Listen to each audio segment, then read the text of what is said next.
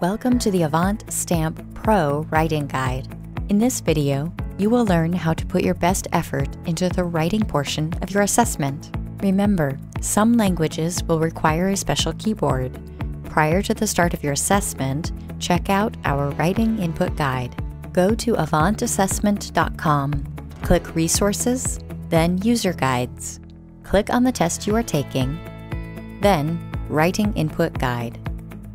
This guide will show you if the language you are testing requires a special virtual keyboard and how to activate it. Let's start with what to expect on the test. There are three different writing prompts required for this section. At the beginning of the writing section, you will see a practice writing prompt.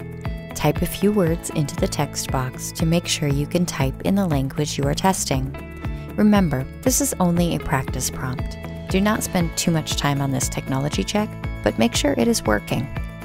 If you are not able to type in the text box, please let the teacher or proctor know. During your assessment, you will not be allowed to use any outside resources, including paper and pencil. Doing this will lower your score and may even result in a zero because it involves the use of reference material.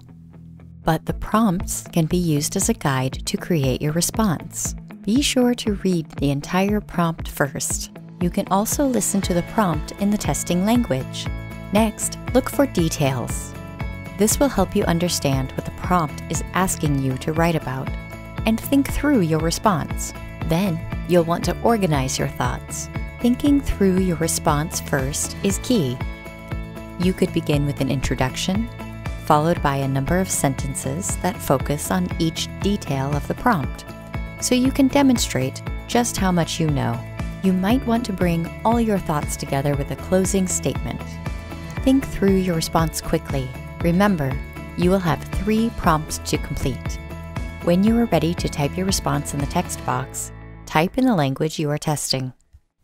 Focus on each detail of the prompt, using a variety of vocabulary and sentence patterns to demonstrate your best writing skill create natural flow by connecting your ideas. Stay on topic and write at your highest possible level. The assessment will automatically save what you have typed in the text box. When you are ready to submit your writing response, click the Next button to move to the next screen. You will not be able to go back to your writing response after it has been submitted. Be creative and don't stress over possible errors. This is a proficiency assessment. Errors are part of creating language. Simply do your best and enjoy writing the language that you're learning. Make sure to check the Power Up Guide and writing examples on our website to help you learn how to reach higher levels and improve your language proficiency.